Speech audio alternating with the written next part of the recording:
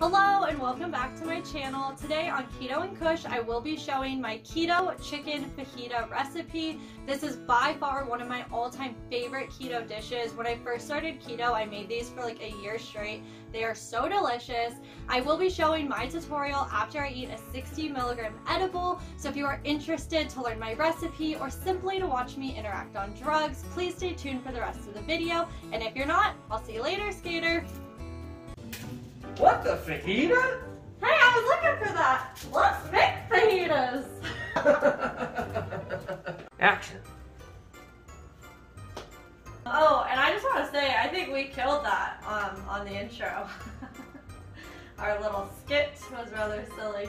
So today we will be making keto chicken fajitas. So let's get into the recipe. First ingredient is an onion. Need a red and yellow bell pepper. You'll need some chicken. And some fajita sauce. So first we're going to chop up our onion and I'm just going to do about half an onion. I don't know if this is the proper way to cut an onion. Oh, it's really hard in there. Okay. Oh, sorry, sorry. I Cut your cutting board really.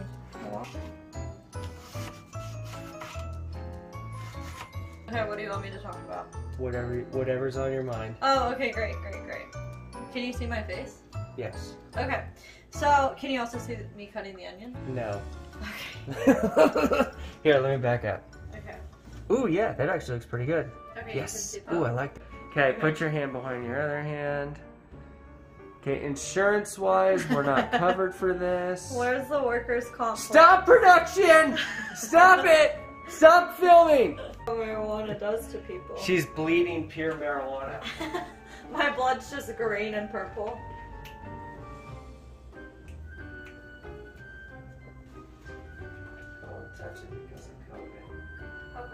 Yeah. This is also an ingredient when you're uh, here cooking with Katie. Cook on edibles at your own risk, kids.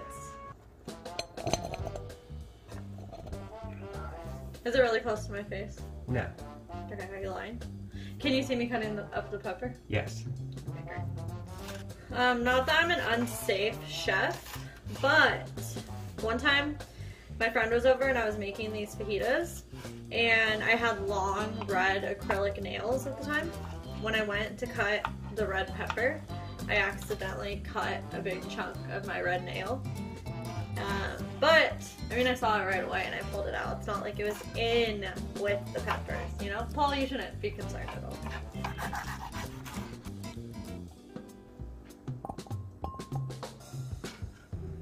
This is a yellow pepper. You honestly could choose any combination of peppers, your little heart desired, but this is the combo I picked because the first time I ever made it, these were the two I picked, and I just like uh, routine and tradition.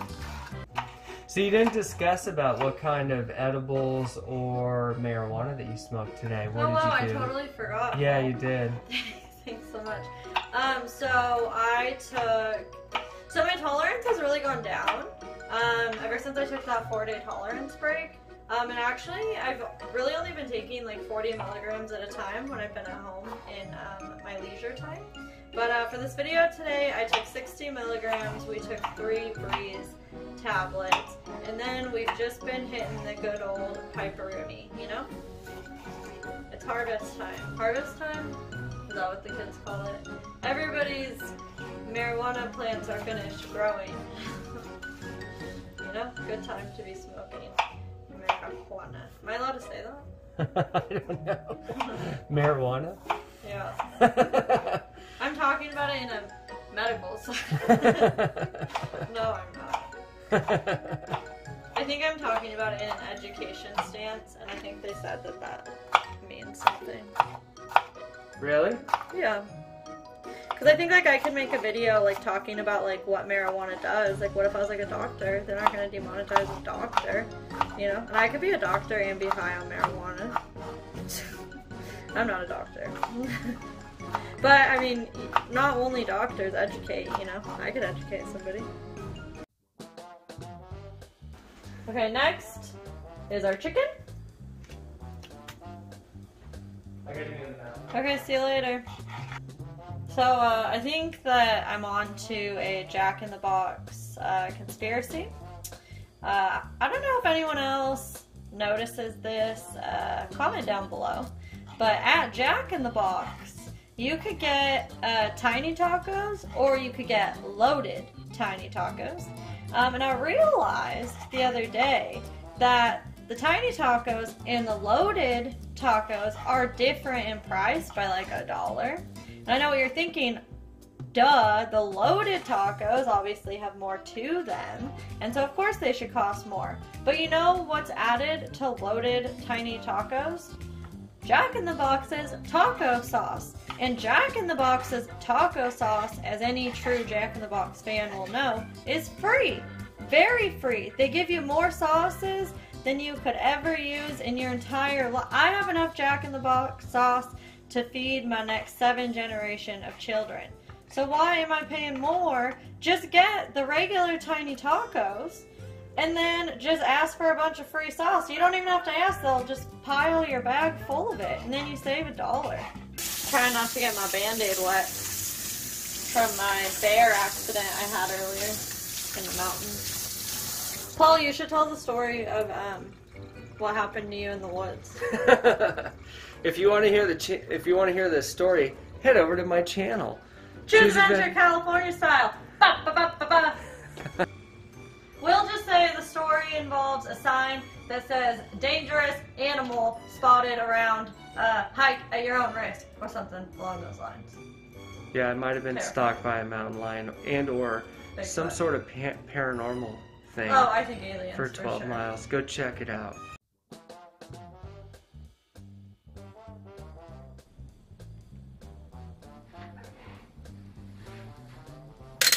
You're going to turn your burners on to medium heat.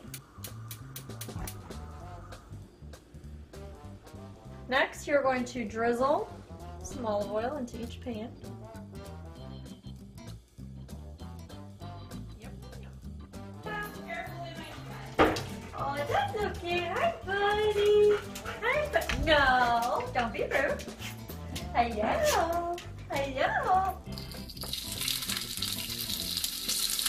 So we're just gonna add some garlic powder, as much as you'd like. You can add uh, any other seasonings. There's a sauce that's going to go in at the end.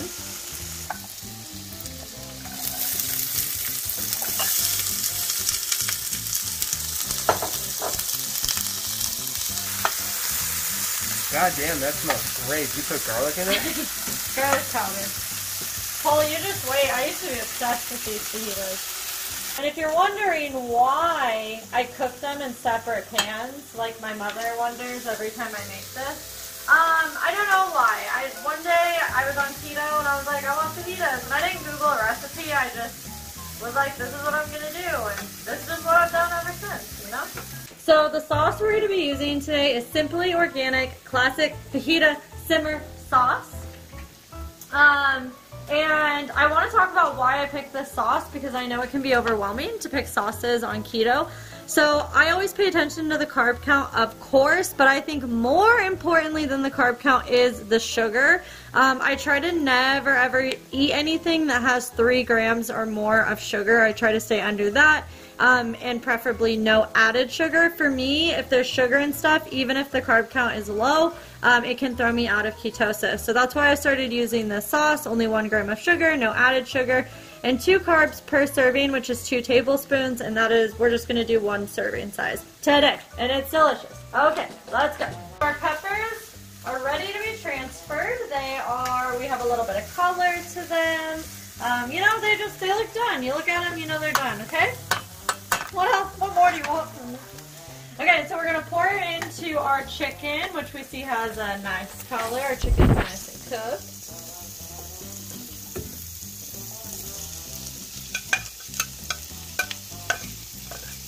And then we're going to add our sauce. It's two tablespoons. And we are going to stir to combine. I hope I didn't splash sauce on your phone. oh god, I almost stabbed myself with the knife. It happened. Okay. Paul, tell the people how it smells. What's going on? It uh, really does smell delicious. I smell the garlic. I smell the bell pepper. I smell the chicken. I smell just deliciousness. Wow. Wow. Okay. I'm going to add one more tablespoon. It just doesn't seem quite saucy enough. So that's going to add one more carb. So now we got three carbs from our sauce, which I think is very reasonable for a dinner. Okay, so now that our sauce is thoroughly mixed in, we are going to let this cook and simmer uh, probably about five minutes and really let all the flavors uh, mesh in there, get in a little flavor sandwich. Uh, and then we will come back to try on camera.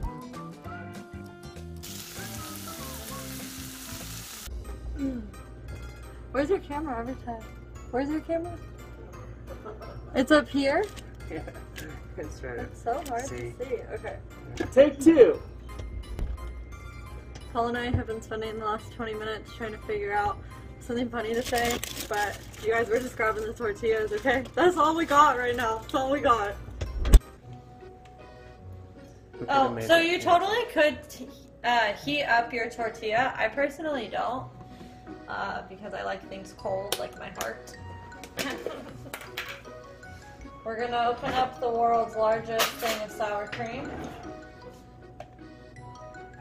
And of course, you could add guacamole, cheese, jalapenos, olives, whatever you like, but I just like sour cream. Paul, didn't you teach me to do this instead of just putting a glob? You put it on, you spread it around.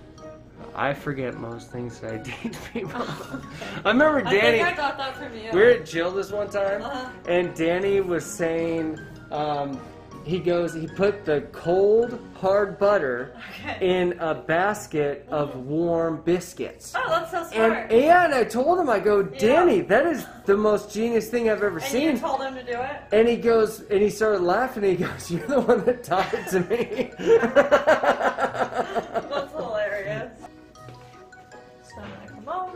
just gonna scoop our mixture.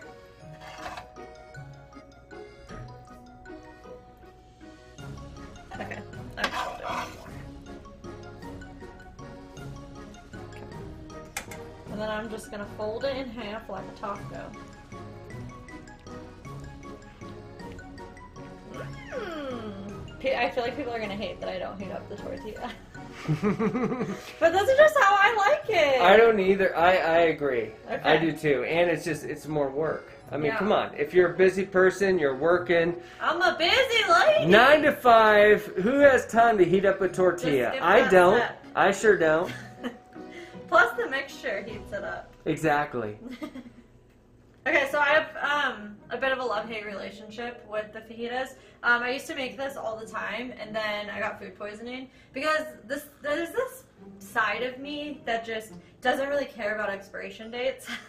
and like like one time I had a burger that sat in my car. I had an overnight job, and you know your brain kind of loses steam around 2 a.m. And I had a Wendy's burger that had been sitting in my car for like two days, and I heated it up and I ate it, and uh, that gave me food poisoning too. But uh, I'm pretty sure one time I just made these and the chicken wasn't like was expired and I just didn't care. And ever since then, I can't eat these. So I have a feeling I'm gonna take a bite and they're gonna be disgusting to me. But I promise they're really good. It's just because I had food poisoning one time, you know?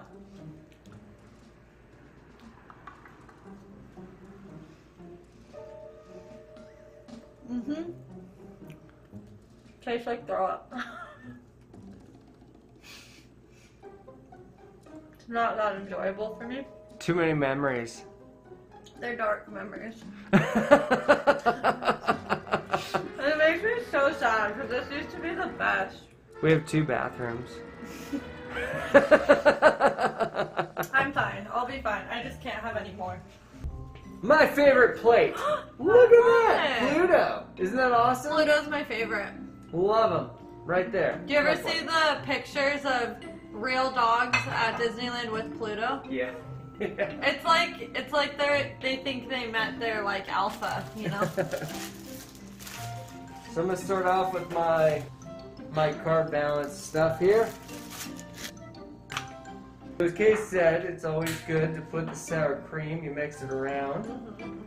Okay. Instead of just doing a glob after you put the It just in. makes sense. Yeah. Yeah. Don't do what's cool. Do what makes sense. Brittany, you want to come try it too? Should you and Brittany try it at the same time? So we're gonna fold it over.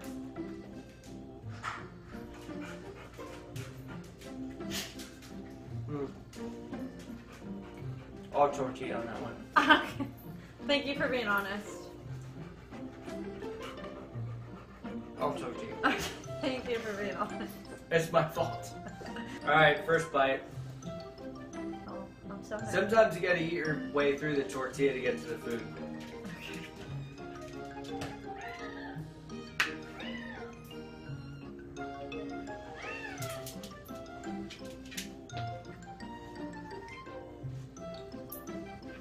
You know, I love it. I love fajitas. Uh huh. To me, it almost tastes very barbecue. Oh, okay. Yeah, Is that good or bad? it's good. Okay. A little barbecue fajita? I like this. This Okay. is good. Brittany, you can just take, taste this one. Oh. I think it actually five out of five for me. Brittany, do it on camera. Brittany, do it on camera. Come right here. Yeah. Only if you want to. I don't want to be on camera. Okay. Oh, we yeah. can. Can we hear your audio? Yeah. Okay. Okay. We have Brittany's permission. Did you sign the waiver? Did you sign the NDA? Yes. we promise she's actually trying it. We're good. Okay. yeah. Do you agree with Paul about the barbecue flavor? Okay, me either. Why is he wet? It's raining. Keto Kush stamp of approval. Great. I would totally give it the stamp of approval if it didn't um, make me nauseous.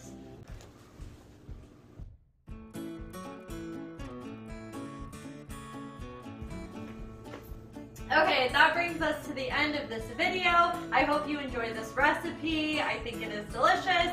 If it didn't give me food poisoning, um, I will see you next week for another keto recipe. And please remember that to be healthy does not mean that you have to stop getting high.